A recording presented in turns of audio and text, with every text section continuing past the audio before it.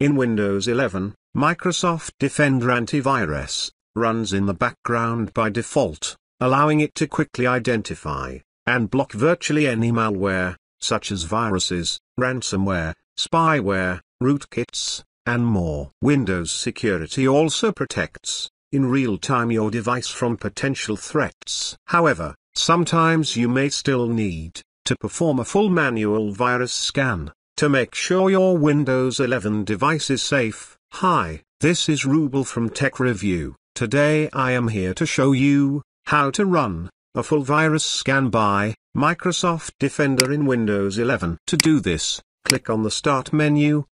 Type Windows Security. After appearing the Windows Security, click on it. After opening the Windows Security, click on the Virus and Threat Protection. Click on the Scan option.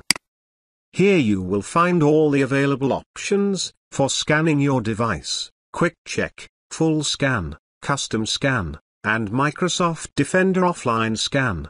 Select the Full Scan option. Click on Scan Now. Scanning is started. Microsoft Defender Antivirus scans your computer for viruses and other types of malware. If threats are detected during the scan, the antivirus will remove them automatically or quarantine infected files. Thanks for watching this video. Hope you like this. Please do subscribe to my channel. Also give a like please. Take care.